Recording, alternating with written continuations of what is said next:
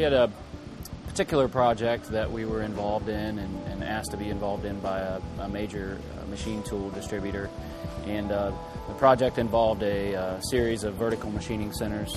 This project was, uh, was quoted as a work holding application uh, for a major automotive supplier, which would be the end user, um, for transmission style uh, type product. And the part itself it's not just one part. There's a series of, of nine parts and, and multiple processes within those within those parts as well.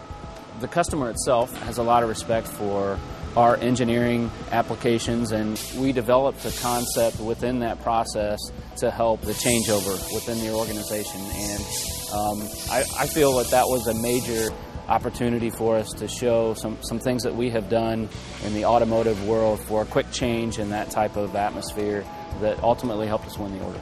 It allows them to change over the product um, with very minimal amount of uh, changeover time and only allows them to buy four machines from a capital expenditure versus the 25 machines that they'll ultimately need to run the process. We always like to sit down with this particular customer and sit down and hash through projects and, and develop these processes. And um, the project was very timely, so we had to react uh, very quickly um, to make the project uh, happen as quickly as it needed to happen. And ultimately, at the end of the day, our timeliness ended up winning us the order.